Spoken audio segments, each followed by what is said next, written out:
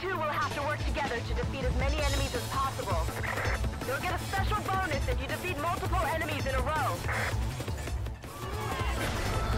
row.